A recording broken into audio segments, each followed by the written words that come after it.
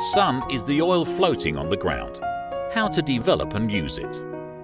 This is a Gobi, this is a desert, and here is a land to be developed.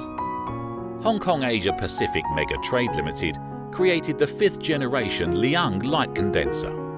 The synchronous rotation in sun-thing angle can be trailed easily by the Leung condenser field, while the reflector only tracks the sun's pitch angle and calculates the reflector's rotation speed and the curve of the angle shifting. The guide rails are made into a uniform length.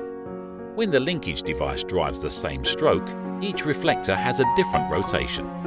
The core technology is the guide rail calculation, and the arcs of the guide rails are different.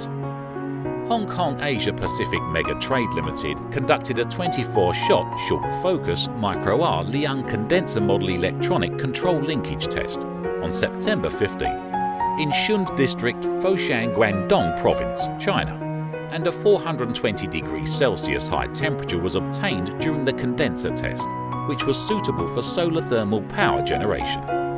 The cost of the fifth generation Leung condenser is reduced because the materials are mainly hardware brackets, reflectors, guide rails and a stepping motor is used to drive the 1mm steel wire to link all the reflectors to track the sun's pitch angle the cost of the concentrator is reduced to around 80 US dollars per square metre.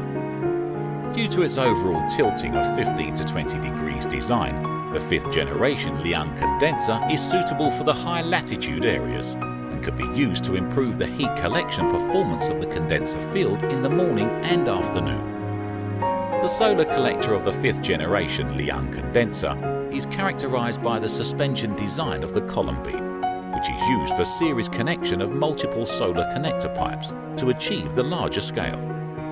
The solar collector is located above the middle of the condenser field, which is convenient for condenser field cleaning. The solar collector of the fifth generation Leung condenser is a suspension design of the column beam. Another feature is the addition of a greenhouse glass roof on the construction of many column beams. A century artificial greenhouse based on solar energy then formed, the artificial greenhouse adapts to the solar thermal power generation climate in the high latitude areas, realizes solar thermal power generation and effectively utilizes the abundant light in the high latitude areas to develop greenhouse agriculture. Solar thermal power generation and greenhouse agriculture can effectively achieve the solar thermal power generation and waste heat utilization. The glass roof of the greenhouse forms a large rain collecting area the solar condenser reduces the damage from wind, sand, rain, snow, dust and hail.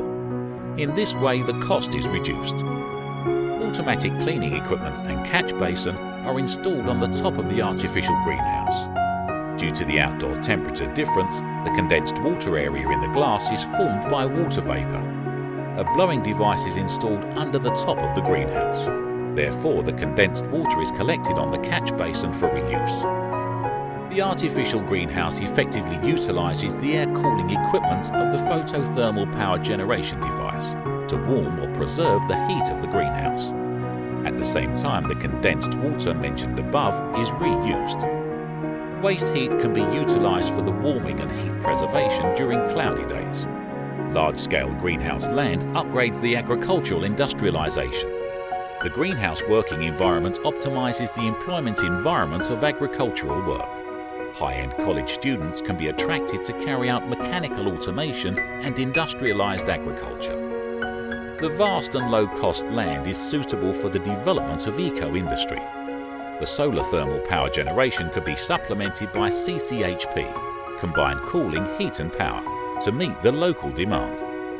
For the solar thermal power generation, the polarised light and abandoned light during part of the time can directly reflect the solar energy out of the atmosphere and then cool the Earth.